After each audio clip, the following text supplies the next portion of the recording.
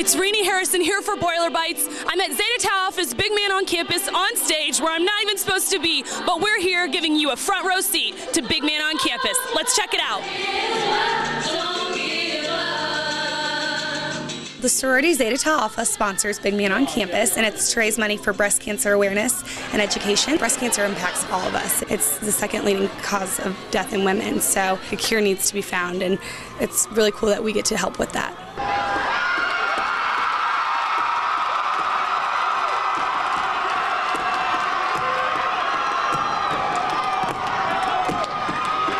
So what does the BMOC or the, the man who is crowned, what what exactly does he get from all of this?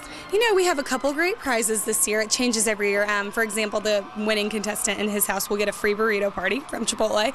So the material aspects are fun, but I think more than anything, it's just the bragging rights for the houses. I mean, how cool is it to say that you're the big man on campus of Purdue University?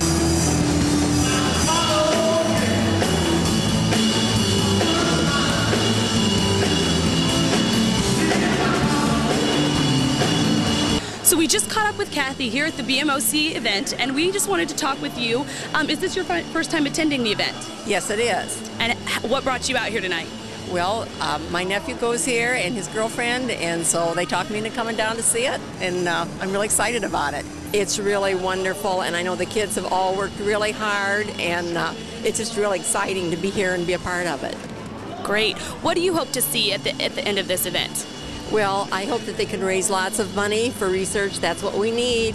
We need um, to just eradicate this horrid disease. It's an amazing, fun event for everyone that really brings everyone together because it is so fun, but the underlying cause is so great. You know, you're doing something that's so much bigger than yourself and you're able to help so many people. Through the dedication and hard work of our BMOC Executive Committee, the help of Zeta Tau Alpha, and the entire Purdue family, this year we have raised a total of one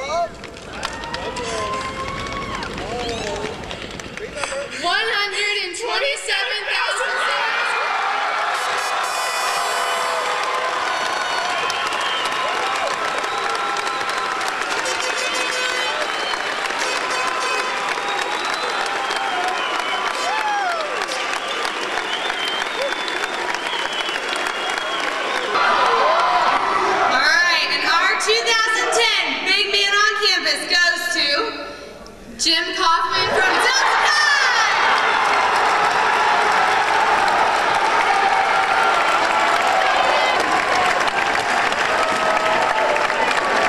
So I'm standing here with Jim, the winner of Big Man on Campus. How does it feel, Jim? You know, it, feels great. I didn't, I didn't know if I was gonna pull it out, but I had a lot of help from my house. So I mean, it feels awesome.